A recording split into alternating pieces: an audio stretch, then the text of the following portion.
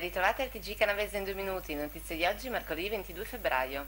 Canavese, nei giorni scorsi sono state denunciate alla Procura di Ivrea 11 persone, 6 di esse controllate di Ivrea, le restanti a Cornier, Borgomasino, Carema Montalto d'Ora.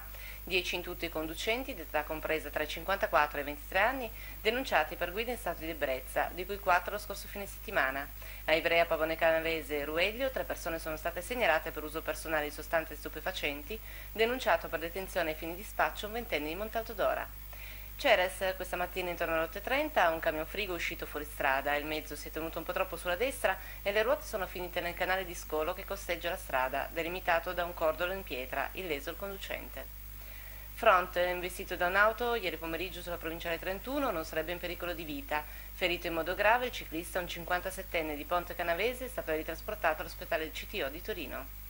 Chivasso, ad abbandonare la Lancia Y sui binari della linea ferroviaria Chivasso-Ivrea-Osta l'altro giorno sarebbe stata una 24enne di Caluso. La giovane si era allontanata a piedi perché la vettura era rimasta incastrata con le ruote tra i binari. Sottoposta al test dell'etilometro è risultata positiva ed è stata denunciata per interruzione di pubblico servizio.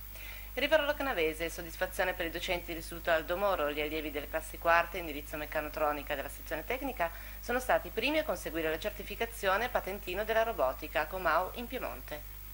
Città metropolitana, nelle prossime settimane, per il settimo anno consecutivo, il servizio tutela fauna e flora e il servizio pianificazione e gestione rete ecologica e aree protette attiveranno una campagna di tutela dei rospi e delle rane durante la migrazione riproduttiva, grazie alla posa di barriere temporanee che convogliano i selvatici verso i rospodotti, strutture che consentono agli anfibi di evitare di essere schiacciati dagli autoveicoli quando attraversano le strade extraurbane.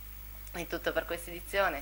Per seguire le notizie in tempo reale è possibile anche scaricare la nostra nuovissima app gratuita da Apple Store o Google Play. Buon proseguimento di serata.